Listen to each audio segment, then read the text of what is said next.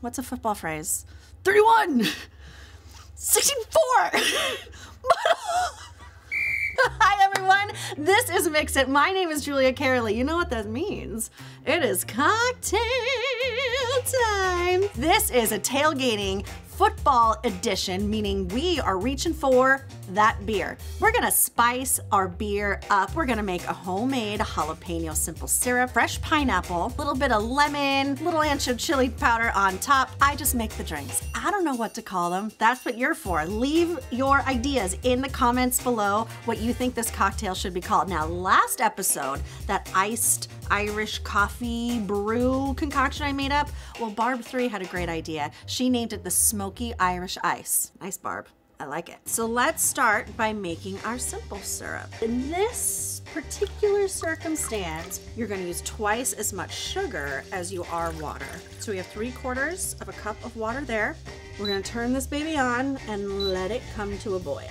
Don't look at it.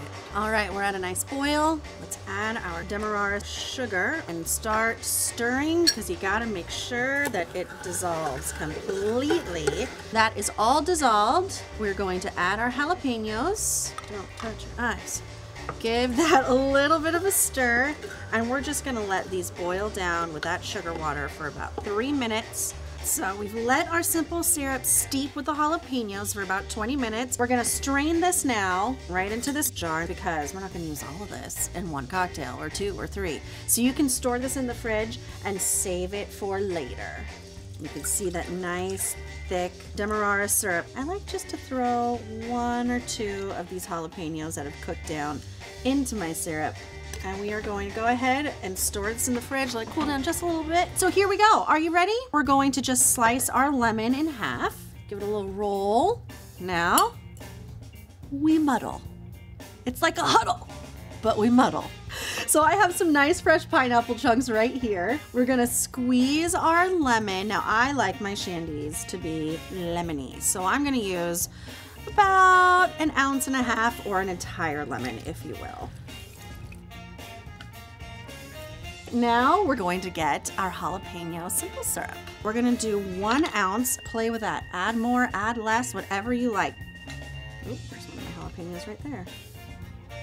You know what? Hey, why not? We'll get that little guy in there. I like it spicy. All right, are you ready? You really gotta get in on that muddling action. All right, that's looking good to me. Next up, Let's grab our frosty mugs. We're going to strain what we just muddled up into our frosty glass.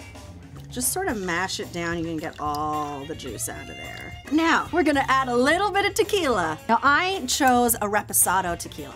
So this has a nice oakiness, almost like a caramel sort of flavor to your tequila. We're just gonna use an ounce, ounce and a half to finish it off. We need our beer.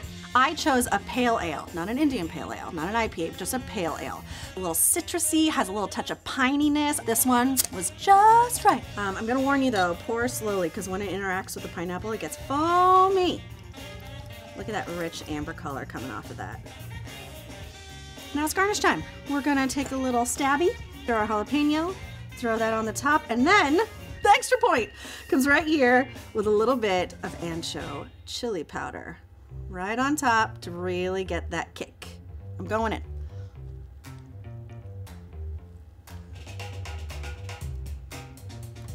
This is really good. Nice citrus notes and that burst of fruity flavor from that pineapple totally comes through. That ancho chili on the top, you breathe it in a little bit. I might have like a little ancho chili mustache right now. It's cool. It's totally fine with me. It gives it that nice smokiness. I love the Reposado tequila in there because now it's nice and round. And of course, that simple syrup that we made with that Demerara sugar, that is the key.